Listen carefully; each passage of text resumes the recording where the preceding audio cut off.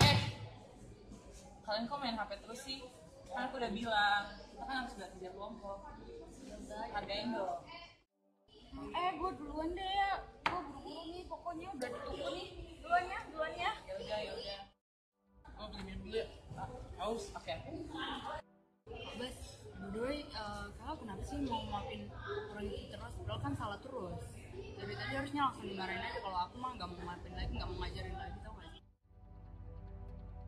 Ada tertulis, kita harus mengampuni saudara kita sebanyak 70 kali 7 kali.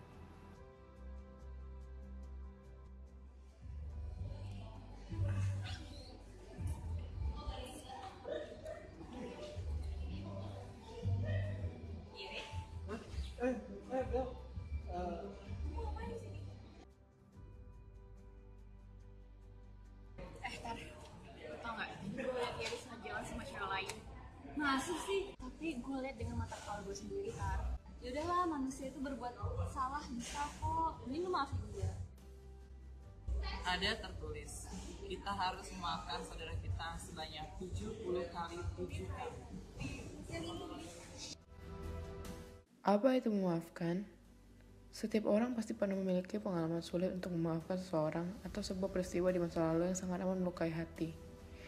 Mungkin di saat kamu dikhianati oleh orang yang kamu sayang, atau mungkin di saat orang di sekelilingmu tidak menghargaimu. Memaafkan bukanlah sebuah perasaan, tetapi sebentuk tindakan, sebentuk kemauan diri dari seseorang. Memaafkan adalah suatu mukjizat yang secara ajaib bisa dirasakan, tetapi tidak banyak di antara kita mampu melakukannya dengan mudah. Maukah kamu memaafkan? Om 19 mengucapkan